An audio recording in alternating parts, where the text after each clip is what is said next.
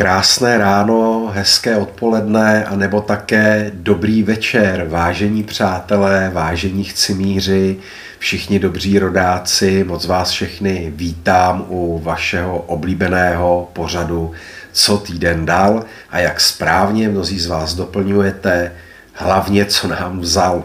Tak přátelé, začneme výjimečně v cizině a to v Rusku, protože Vladimír Putin měl po více než roce a půl interview nebo chcete-li otázky a odpovědi, nevím, jak to jinak nazvat, což bývalo pravidlem, někdy dokonce i dvakrát do roka, ale od 24. února roku 2022 to nebylo přišlo neuvěřitelných 2 miliony 400 tisíc otázek, takže je asi každému jasné, že na to není schopen odpovědět ani robot, ani dvojník, ani trojník, jak eh, tady naše mainstreamová média tvrdí, že to nebyl on, ale byl to dvojník a ještě se ho eh, ptala umělá inteligence a takovýhle různý bláboli, co tady člověk může číst, tomu se opravdu musí člověk jedině smát. A Vladimír Putin tam řadu hodin odpovídal na ty otázky, které poté vybírala tisková kancelář, předpokládám. A víte, co na tom největší legrace? Že já jsem očekával, jak mainstreamová média budou říkat, že lže, přehání, že to není pravda, že to je propaganda a podobně. A drtivá většina těch mainstreamových médií tvrdila, že to, co říká například o Ukrajině, tak je skutečnost. A to si myslím, že je největší šok uplynulého týdne, protože tady nám propaganda říká celou dobu, že naše v uvozovkách vojska jdou vítězně vpřed, zpátky ní krok. A teď se mnozí lidé, kteří tomu skutečně věřili, a já si troufám tvrdit, že jich v České republice byla většina, tak se probouzejí tady z toho snu a zjišťují, že ta situace je úplně jiná. Tak to je, co se týče Ukrajiny. Co se týče ekonomických záležitostí, tak já si myslím, že už všichni víme a vidíme, že se Ruská federace nepoložila tak, jak nám tady říkají ti odborníci na slovo vzatí, kteří tvrdí a tvrdili, Oni to dokonce někteří tvrdí i dnes, že ta embarga vůči Ruské federaci fungují a že Rusko se ekonomicky potápí, krachuje a v podstatě je úplně na kolenou, ryje čumákem v zemi a už se z toho nezvedne. Když se to po několika měsících nestalo, tak eh, zase říkali, že musíme ještě počkat a že to má nějaký odkladný účinek, a že to teprve všechno nastane a tak dále. No a oni jsou to skoro dva roky, kdy se vyhlásila ta úplně nejtvrdší embarga, no a ono se vůbec nic nestalo. To znamená, Rusko si své trhy našlo v Číně, v Indii, v subsaharské Africe, na Blízkém východě. Navíc utužili vztahy se zeměmi, od kterých už byl odklon, jako je třeba Severní Korea, která je pro Ruskou federaci naprosto stěžejní, co se týče dodání munice, protože ta munice, která se používá na Ukrajině, tak je z doby Sovětského svazu na obou dvou stranách barikády.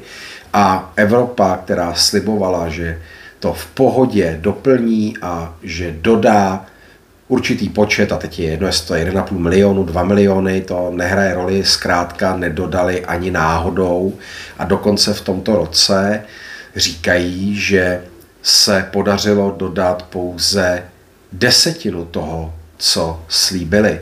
Takže když se oprostíme od peněz a budeme se bavit čistě jenom o té vojenské pomoci, vojenské technice a tak dále, tak Rusko má na celý příští rok dostatek nábojů, dostatek munice, právě díky tomu, že navázal kontakty se Severní Koreou. To, jestli to je dobře nebo ne, tak od toho tady já nejsem, abych tyhle ty věci rozhodoval. Já jenom říkám, nebo se snažím říkat ta fakta, která jsou a člověk u toho přemýšlí zdravým selským rozumem, který se naprosto vytrácí, protože stačí číst, podívat se do minulosti, jak tomu bylo.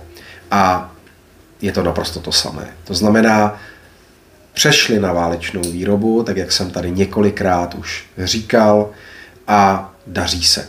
Daří se prakticky po všech stránkách, protože oligarchové místo toho, aby utráceli v cizině, tak utrácejí v Rusku, zaměstnávají v Rusku, rozjíždí novou výrobu a tak dále. A to má samozřejmě pozitivní vliv na ekonomiku. Jako to, že je problém s inflací, tak ten je prakticky v celém světě. A to, že oslabuje rubl, tak eh, to je také pochopitelné. Já se spíš divím, že se úplně nezhroutil, když nám tady teda tvrdili, jak se ta ekonomika celá zhroutí. Takže tohle bych viděl jako nejpodstatnější věc, která byla v minulém týdnu ze zahraničí a konkrétně teda z Ruské federace, protože to bude mít v příštích měsících stoprocentně dopad na nás v Evropě. Já nejsem žádný panikář ani katastrofista, abych tady tvrdil, že si pro nás Putin jde. To se bojí hlavně ti, kteří, řekněme, krvežízniví, takový ty válečníci, pseudoválečníci za tou klávesnicí, někteří redaktoři a tak dále, kteří tady píší štvavé články, tak samozřejmě tam chápu nějaké obavy, ale jinak, když se budeme bavit opravdu nějaké reálné politice, tak eh, prohlásil například Vladimír Putin, že bude, nebo že by hranice se Slovenskem a s Maďarskem nevadila, ale pokud jste to slyšeli, tak eh, to spíše říkal jako for. Jestli bude pokračovat dál nebo ne, já nejsem vojenský analytik, ani si na něj nebudu hrát, takže to vůbec nejsem schopen odhadnout a spíš tak jako vycházím z toho, že si říkám, co by tu jako dělal, co by tady hledal.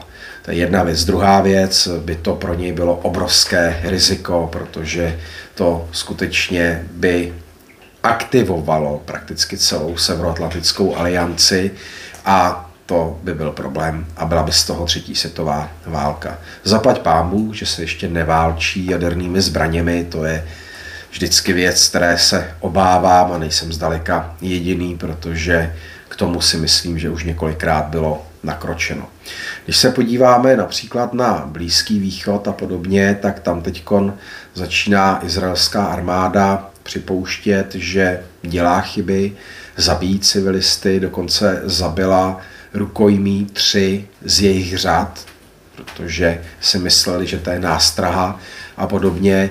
Ono každém tom konfliktu se nedá bojovat čistě, to si řekněme naprosto otevřeně a bohužel je to tak vždycky, že to odnáší lidé, kteří za to nemohou, to znamená civilisté.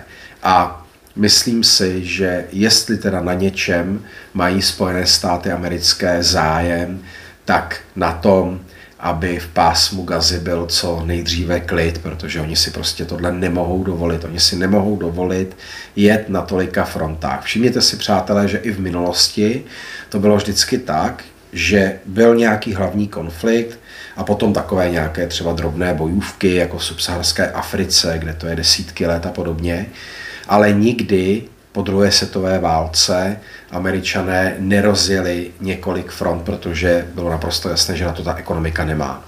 A když se budeme bavit o ekonomice Spojených států amerických a penězích, které mají na Ukrajinu, Blízký východ, Tajván a tak dále, tak je to velice okleštěné, protože kongres to nepovolil ty obrovské peníze vydat a pouze Joe Biden tím dekretem, který mohl vydat a vydal, tak uvolnil pouze část peněz a další peníze uvolnil třeba Mezinárodní měnový fond. Je velmi zajímavé, že třeba Mezinárodní měnový fond uvolní peníze pro Ukrajinu a na druhou stranu řekne, že se Ukrajině ekonomicky mimořádně daří. Tak to teda nevím, z čeho vycházejí. Eh, spíše se tam daří těm nadnárodním společnostem, eh, které tam obchodují, skupují půdu a tak dále, tak to chápu, těm se opravdu daří. A potom se daří zbrojařům a zbrojařským společnostem na celém světě. České republiky nevýjímaje protože to je obrovský biznis, to asi všichni chápeme, takže pokud by to skončilo, jako jsme mohli bychom jako mohli mávnout kouzelným proutkem a najednou by skončily všechny války, tak by to bylo sice hezký, ale je to velice naivní. Něco takového se z největší pravděpodobností nikdy nestane. Takže tolik ke světovým informacím o to, co se událo, když se podíváme na tu domácí půdu, no tak tady je setrvalá klesající tendence ve vládě, protože to poslouchat, co oni jsou schopní vyplodit a to, jakým způsobem tady tou salámovou metodou všechno tlačí ty dva roky, tak to si myslím, že už asi, pardon, ani nemůže nikoho překvapit. A všechny ty zákony, které schvalují, balíčky, opatření a tak dále pro příští rok, tak eh, jsou spíše destabilizačními a i tak se pořád najdou ekonomové, kteří tvrdí, že ten příští rok bude zlomový a že se bude výborně dařit. Já nevím, z čeho vycházejí, jak se může výborně dařit ve chvíli, kdy se všechno bude zdražovat o 10, 15, 20 a tak dále procent, tak to si nemyslím, že je zrovna cesta k prosperitě. A přitom že by šetřili na té výdajové stránce hlavně u sebe, to znamená agenda, tak to se prakticky nestalo a myslím si, že ani nestane. To znamená, když se podívám na všechna ta čísla, všechny ty ukazatele, jako je inflace, jako je dluh, reálný dluh, to, že oni vlastně nebudou za chvíli schopni splácet ani ty úroky z toho eh, dluhu. A přesto mají ekonomy, kteří říkají, že to je dobře a že takhle fungují všechny státy a že to je super se zadlužovat a tak dále. No nevím teda, já si to osobně teda rozhodně nemyslím. A to, že se všude tisknou peníze, jak na běžícím páse, že za poslední dva roky se vytisklo snad nejvíce oběživa v historii vůbec lidských dějin, tak eh, to myslím, že bude ještě mít dopady. To je záležitost, kterou teprve poznáme. Docela důležitá věc, ještě teda, když se podívám do světa, tak určitě je, co se týče Argentíny, protože Argentína má nového prezidenta. Musím říct, že ten člověk na mě působí velmi zvláštně teda, ale jednu věc, kterou udělal a řekl, že ji udělá, udělal ji okamžitě, tak je devalvace měny jako takové, protože je tam hyperinflace, takže ji snížilo 54% vůči dolaru, tak to musím říct, že teda to jsem koukal, že se k něčemu takovému odhodlal. A Argentína je druhá největší ekonomika v rámci Jižní Ameriky a samozřejmě, že potřebuje opravdu ne ozdravný balíček, ten jí nepomůže, ale potřebuje radikální řešení. A já myslím, že to by pro nás mělo být to memento, kam my se můžeme dostat s touto vládou, anebo s jakoukoliv jinou vládou, která nebude myslet na ty veřejné rozpočty a tak to tragicky to může opravdu dopadnout. To znamená, ta inflace může být 120, 130% zkrátka hyperinflace a samozřejmě tam k tomu se připojí druhotně platební neschopnost a tak dále, propouštění a podobně. To, že u nás teď vidíme, že krachují ty společnosti, jako třeba sklárny a podobně, které tady byly 230, 240 let a podobně, tak eh, to je velice špatný, jak by řekl Pětr Fialovič, signál, ale zvláště pro ně, protože to je druhotný dopad drahé energie a jako já tohle to furt nechápu. Prostě pro mě je nepochopitelný, že takový stát, jako je Česká republika, jeden z mála v rámci Evropské unie, čistý vývozce elektrické energie, má pořád takto drahou elektrickou energii. To přece není v pořádku a oni se pořád tváří, že se s tím jako nedá nic dělat. Jestli jste viděli některá ta prohlášení, jako třeba za KDU ČSL Bartoška a spol, tak já jsem vůbec nevěřil svým uším, že tohle je možný, že tohle to může někdo z těch vládních představitelů říci, že to ta vláda dělá dobře, že to je v pořádku, že se nemůžeme poměřovat s Maďary a Slováky, kteří mají čtyřikrát a sedmkrát levnější třeba energii, plyn a tak dále.